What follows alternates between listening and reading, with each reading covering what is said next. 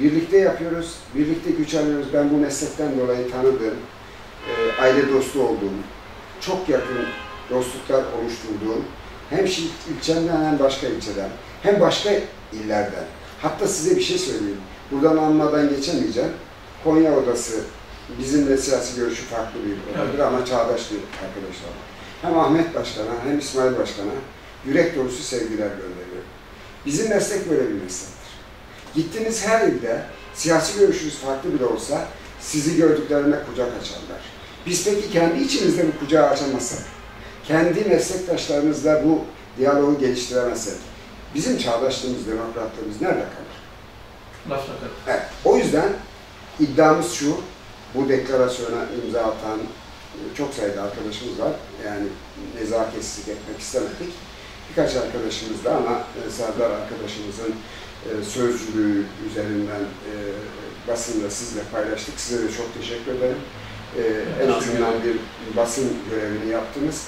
Bizim açımızdan da hiç kimse bizim çağdaş ve demokratlığımızı sorgulayamaz. Ama hiç kimse iddia ediyorum. Bu konuda da çok iddialıyım. Beraber olduğum arkadaşlarımın da iddiası var.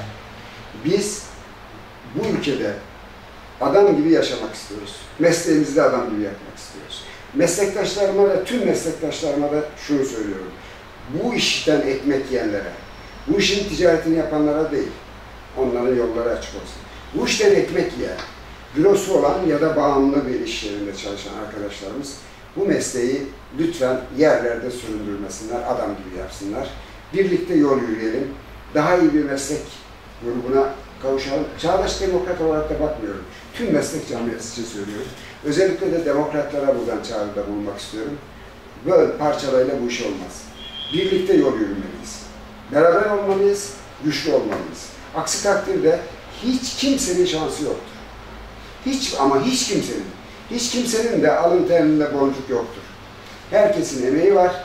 Bu gruba yeni giren, bu mesleğe yeni giren arkadaşımın da emeği var.